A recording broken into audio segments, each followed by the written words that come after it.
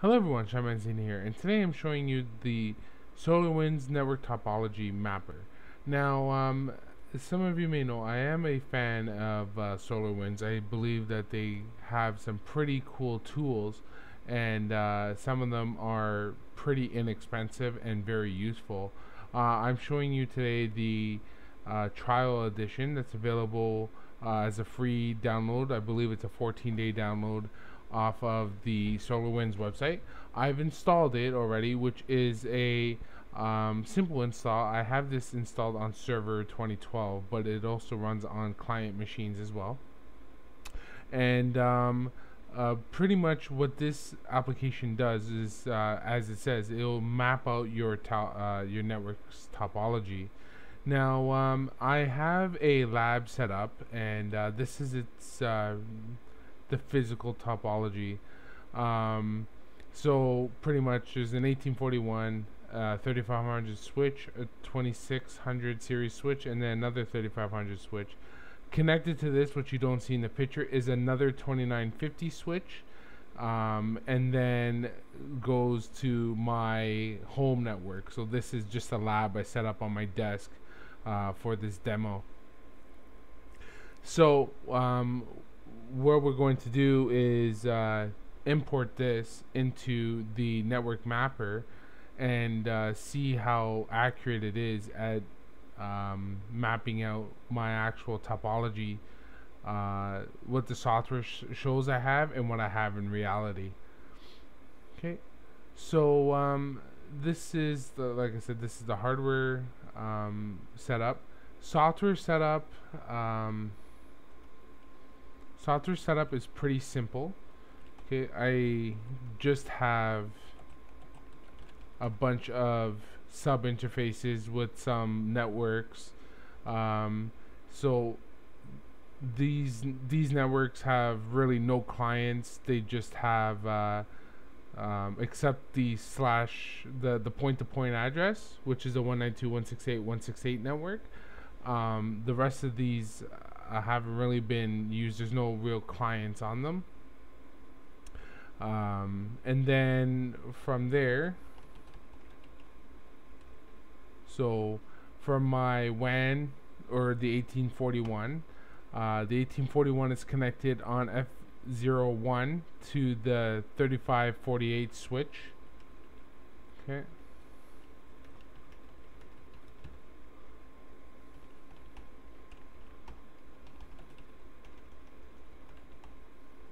And then from the 3548 switch the 3548 switch is then connected to the 2611 off of fast ethernet 048 and then if I were to log into that you'll see that that's also connected to the other 3500 switch so you get the idea. Okay so um, what we're going to do is uh, run the tool. So I've already done a scan before and this tool is pretty simple to use and uh, I'll show you uh, briefly here. So all these devices are running SNMP and so that's how this device, uh, sorry, that's how this software works uh, via SNMP. So you have to make sure that SNMP is enabled on all the devices. Okay, so um, what you can do is uh, you click new scan on the top. And because this is a lab environment I just have public on my SNMP but um, for instance if you have uh, a, an, another SNMP uh, community which you should um, then you'll just name it here. If it's SNMP 1 or 2 or SNMP 3 so let's say I had a SN SNMP community of Bob okay um, you can just label it Bob here and then put Bob as a community string. This is the most important part. This is more of a label and this is the actual community. And if it's SNMP3 you'll put in your um, credential information down here. Alright so I'll just hit public here click next and um, if you're wanting to discover you know like windows machines and stuff you can put your WMI credentials. But this is, as you see, there was no servers to to figure out. There's no VMware. Now network selection. This part's cool. So now you you can do either an IP range, okay, freeform IP. So you can just type in the IPs here, okay, like the range. So let's say 10, 10, 10, 10 to 20, 20, 20, 20. You can just do that range if you want. Okay, there is like a blacklist or do not scan list you put here. But they have this one feature that's kind of cool and it's called add a seed device.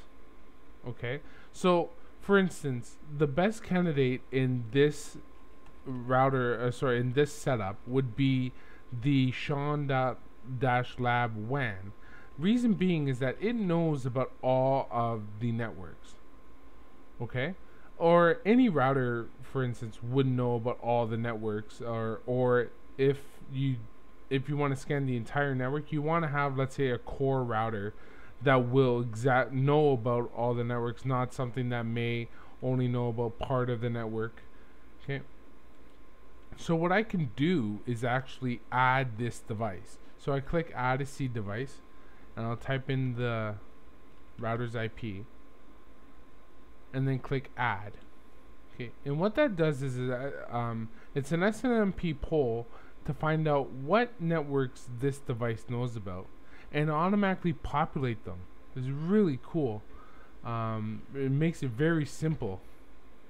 Okay, so in real time here, we're just waiting for um, the networks to populate.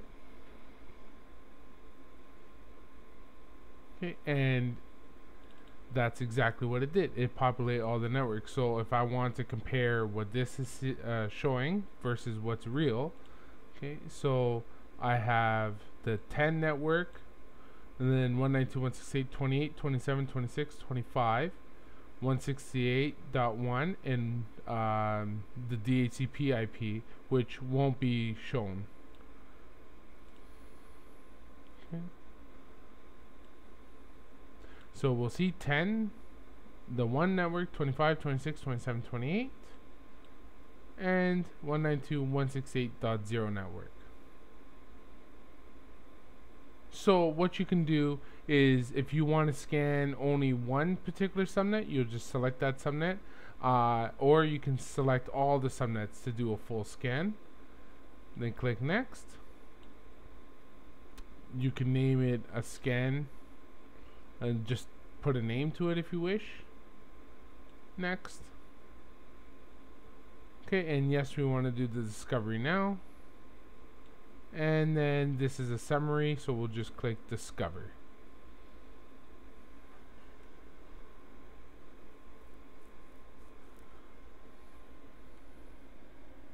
okay so now this does its SNMP polling and everything like that so uh, I'll pause the video and wait for the scan to complete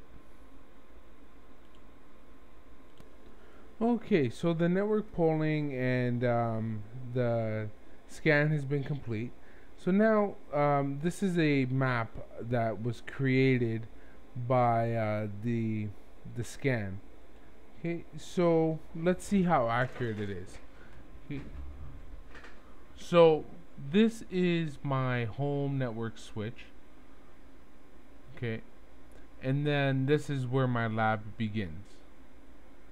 Okay, so what we have is the uh, again my home network switch. Then of course my lab. Then the distribution switch. Then the lab the second router and um, I didn't realize but the third switch was actually off.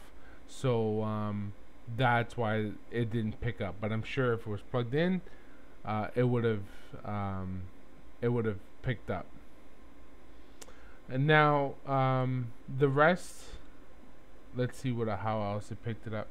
Um, it picked up uh, so this the the rest of the network that's my home network here uh, it's so it's gone ahead and pulled up uh, some of my home network certain things aren't available in the evaluation edition. Um, so uh, there it is kind of limited. Okay. Okay, and now, um, so from here, you're able to uh, you're able to see. It looks like it also relies on uh, not only SNMP, uh, may rely on some CDP. I'm not quite sure on that um, because it's telling us exactly even the ports, which is really a nice, nice, nice feature because. Um, if you have a misdocumented network or a network that's not nicely documented, this can be a lifesaver. Because once you have all this documented, you can go back to your switches, change your descriptions, do all that, and it makes troubleshooting a lot more easier. Uh, now we have uh, we have some node details pulled by uh, SNMP, so we can see obviously this is a router. Um, you know, it's just uh, some some data. Okay, if we go over to the switch, you can see all the VLANs that are in this switch. Okay, so 10, 20, 30, and 40, and uh, what their statuses are. Now, this is a perfect example. Um, so now you can see what VLANs are in there. You can go back and change them if you need to, uh, like uh, help you document your network.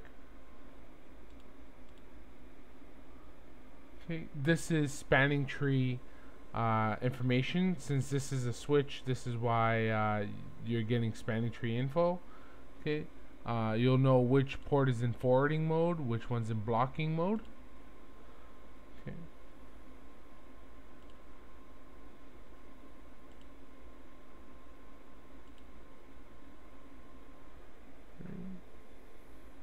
And then um,